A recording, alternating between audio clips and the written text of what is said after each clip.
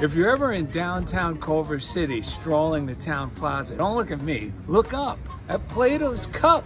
It looks like a weather vane, but that N and P, that's a real head scratcher.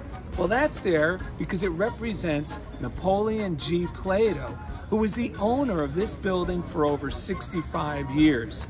And the steaming cup of coffee and the zigzag film strip, well, that represents the fact that in this building was the RKO Studios Cafe.